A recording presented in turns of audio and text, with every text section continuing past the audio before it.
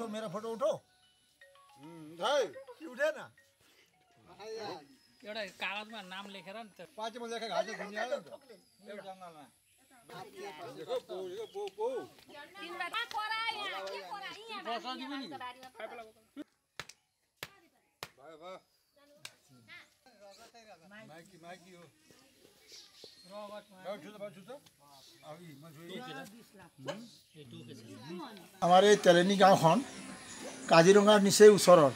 গতিকে ব্ৰহ্মপুত্ৰৰ বান বানপানী হোৱাৰ কাৰণে বন্য জন্তুবিলাক আহি আমাৰ ইয়াত গাঁৱত সোমায়। গতিকে আমাৰ ইয়াত কেইটামান কুকুৰে এই পহুটো খেদি খেদি মাৰিবলৈ ধৰিছে। কিন্তু আমি কেইজনমান ব্যক্তিয়ে আহ, নেৰা নেপেৰা চেষ্টাত পহুটো জীয়াই আছে আৰু মই যথেষ্ট ধৰণে ঘাইল হ'লোঁ।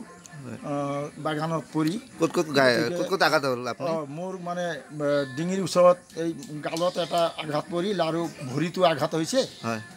তেজ ওলাইছে যথেষ্ট তেজ ওলাইছে। হয়। বন বিভাগক খবৰ দিছেনে আপুনি? বিভাগক এতিয়া বন বিভাগক খবৰ দিয়া হ'ল। তেখেতলোক আহি আছে। আমি পহুটো ধৰি বান্ধি ৰখা আছে।